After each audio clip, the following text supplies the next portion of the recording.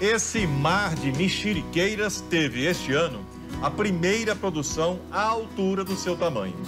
Dos 18 mil pés, 8 mil produziram 39 mil caixas de mexericas.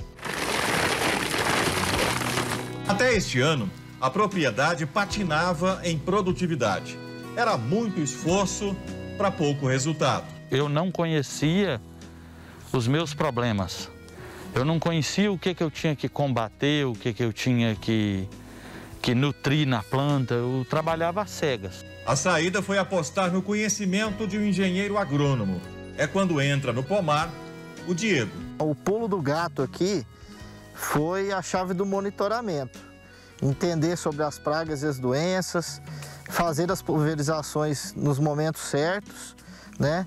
E isso acaba gerando uma economia no final. Até a temperatura na, na hora de fazer as pulverizações, é, eu aprendi isso, então foi muito importante. Mas o começo da promissora colheita coincidiu com o início da pandemia de coronavírus. Medo na lavoura. Mexerica não é fruta que se possa estocar para esperar um melhor momento de mercado. O jeito então foi vender. De qualquer jeito. Eu acabei é, abaixando o preço da fruta para vender para outros estados. A gente vendeu no Maranhão, para Imperatriz, São Luís do Maranhão e Teresina, no Piauí. Várias conversas de que vai fechar o Serrasa, não vai. Então a gente trabalhou sobre uma tensão de que pudesse ter a fruta perdida na, na roça, no pé. Não foi o que aconteceu. Não sobrou fruta no pé. Toda a produção foi colhida e vendida. Mais de 30 pessoas mantiveram o emprego.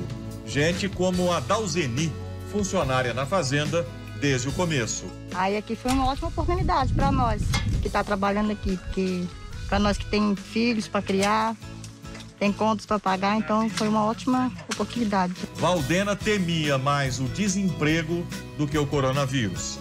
Medo de ficar com fome, né? A fome é doída. Edinaldo veio de Campina Grande, na Paraíba, para esta safra. Deve ficar no mínimo para o ano que vem. Para mim tá bom, graças a Deus, tá dando para ir trabalhando e estamos aí. No fim da colheita, mais de 70 caminhões saíram da fazenda abarrotados de mexerica. Até ao deixar a propriedade, a mexerica ainda produz emprego e renda a muitos trabalhadores. Do motorista ao pessoal que separa e carrega o caminhão.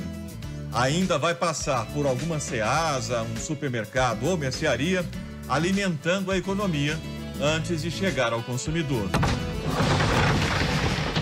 A pandemia não foi capaz de abater o negócio. O mercado agro ele não parou e muito por esse fato conseguir comprar os insumos agrícolas não foi não, não, não teve sua dificuldade. E você vê, numa crise dessa, a gente teve resultados bons, aí a gente só espera melhoras. Demos a volta no vírus. Vamos ver o ano que vem se esse vírus vai embora, né? Acaba, né?